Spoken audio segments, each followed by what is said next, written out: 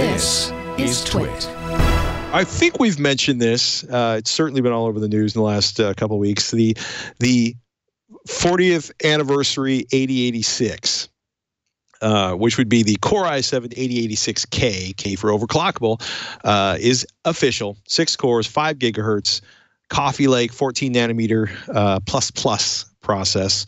Um, you know, it's uh, it's uh, a lot like an 8700K, but just uh-huh. a smidge faster. I mean, it's 4 uh-huh. it, it, it, feels like I, I feel a bin sorting operation going on here because it's four gigahertz up from the 3.7 gigahertz uh, base clock on the 8700K, five gigahertz turbo clock up from the 4.7 gigahertz turbo clock on the 8700K, 12 megabytes of cache, DDR4 2666, 16 PCI lanes, 95 watts, LGA 1150 you know, whatever sockets.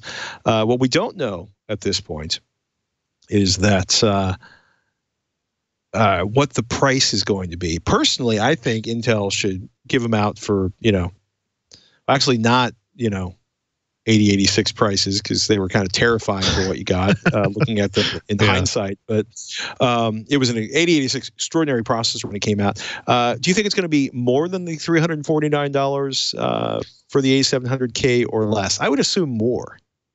Oh no, I, I, think it has to be more. Um, it's a limited edition. Fifty thousand of them are going to be made.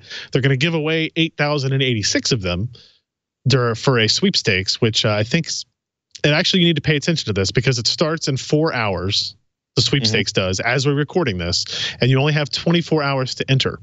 So if you're listening to this and it's not live you should absolutely be going to i think it's, it's game.intel.com slash 8086 sweepstakes um, and there you can enter a chance to win. I don't know how much it's going to cost. They they list in the um, in the terms and conditions that the value is approximately $425. So uh, my guess is that the retail price on this would be 425.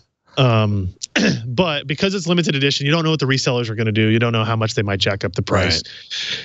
But you know, it's 300 megahertz on your base clock, 300 megahertz on your boost clock. It's not a huge number. Chances are, if you try real hard, you could get that overclock yourself. Um, right.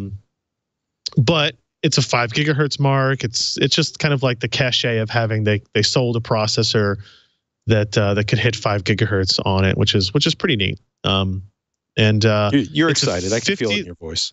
It it is like I you know having all the rumors of this coming out and and then eventually confirming it. My mm-hmm. our our original goal was like okay we're rebuilding our GPU test bed that would be the perfect processor to use for that because it's the fastest sure. single threaded part you can get.